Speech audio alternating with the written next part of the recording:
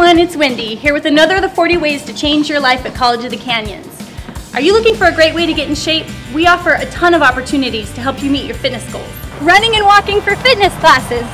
Spin cycling, step aerobics, and weight training classes. Jiu-jitsu.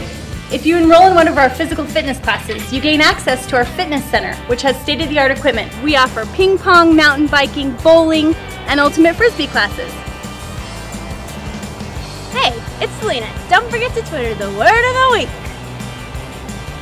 For more information on these classes and others, please visit the class schedule at canyons.edu. Hey!